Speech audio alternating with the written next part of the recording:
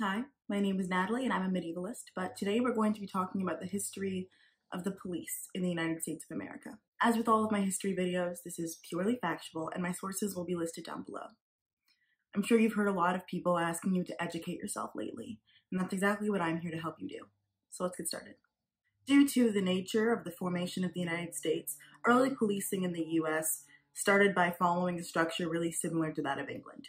In the early colonies, policing took two forms. It was both informal and communal, which was referred to as the watch, and private for profit policing, which was referred to as the big stick. The watch system was composed mostly of volunteers whose duty was to warn of impending danger. The first night watch was created in Boston in 1636, the next in New York in 1658, and the next in Philadelphia in 1700.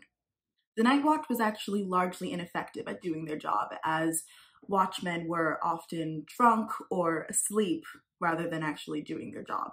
And as the watch was theoretically supposed to be voluntary, which would lead to people who actually cared about the job being on the job, many volunteers were actually just there to evade military service, or they were conscripted by their town, or they were performing their watch duties as a form of punishment, meaning they were criminals.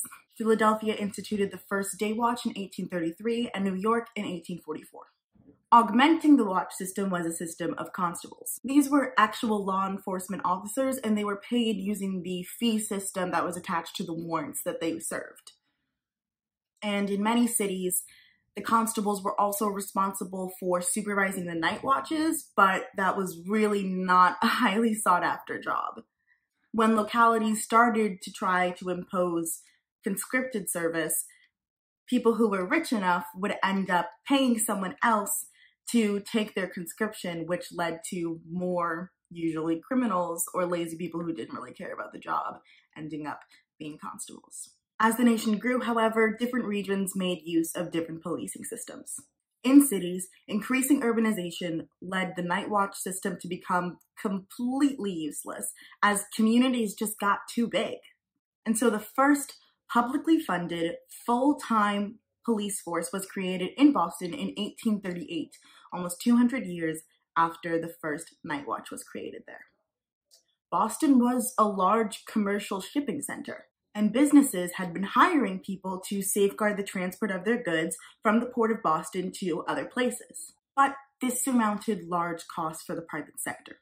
So these merchants came up with a way to keep their goods protected while also saving money. They transferred the cost of maintaining a police force to the citizens by claiming that it was for the collective good. In actuality, it really just served rich merchants and their business partners by making sure that the poor would pay for their expenses so they could keep getting richer and the poor could keep getting poorer. Nevertheless, by 1800, all major US cities had a municipal police force for this purpose. These modern police forces shared similar characteristics. Here are four of them. One, they were publicly supported and bureaucratic in form. Two, police were full-time employees and not volunteers or independent contractors. Three, departments had fixed rules and procedures, and employment as a police officer was continuous. And four, all of these police departments were accountable to a central government authority. However, in the South, the economics that drove the creation of police forces weren't motivated by shipping interests, but by the preservation of the slave system. Some of the primary policing institutions there were tasked not with protecting Some of the primary police institutions there were slave patrols, tasked with chasing down runaway slaves and with preventing and responding to slave revolts. The first formal slave patrol was created in Carolina in 1704. During the Civil War, the primary form of law enforcement in the South was the military, but during Reconstruction, many sheriffs performed in a way that was analogous to slave patrols. They enforced segregation and the disenfranchisement of freedmen. Slave patrols had three primary functions. One, to chase down, apprehend, and return to their owners runaway slaves. Two, to provide a form of organized terror to deter slave revolts. And three, to maintain a form of discipline for any slave workers outside of the law if they violated plantation rules. Following the Civil War, these vigilante-style organizations evolved into modern police departments.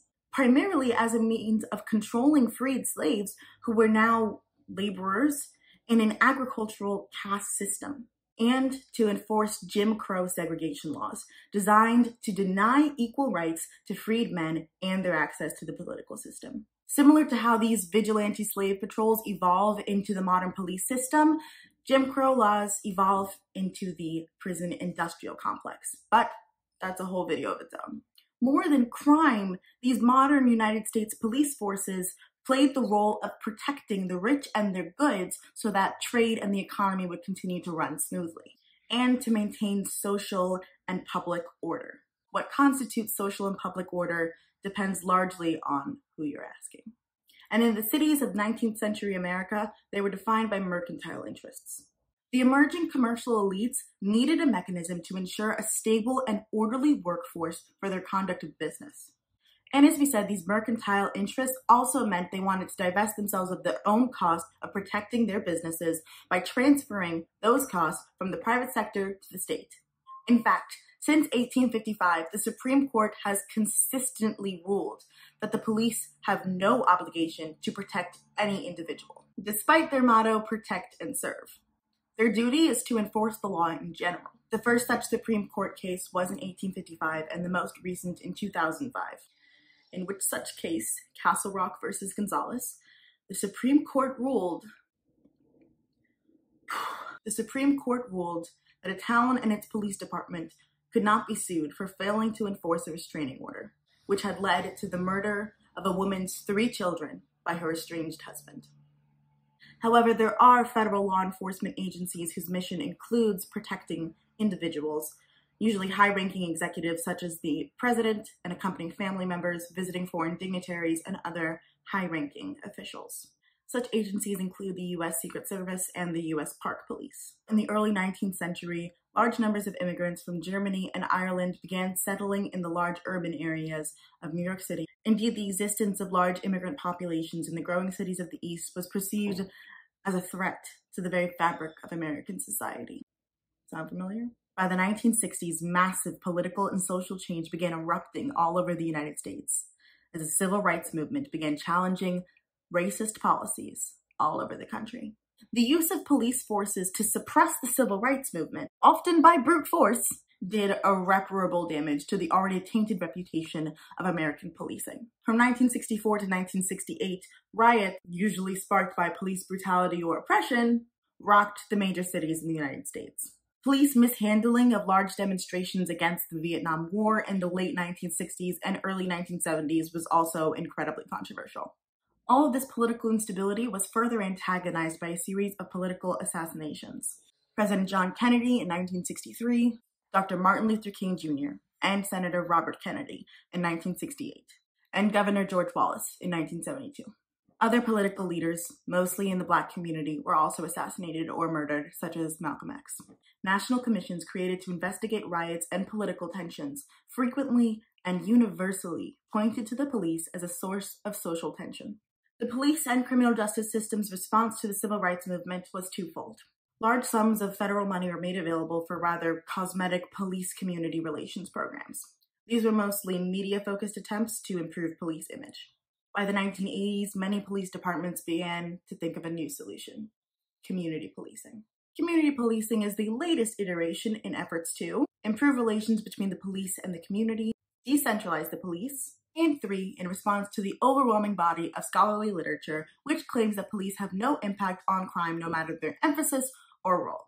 Such literature includes an LA Times article published in 2017, which reports that when the NYPD took a break from proactive policing in an attempt to show the community how much they were needed, actually, major crime reports decreased.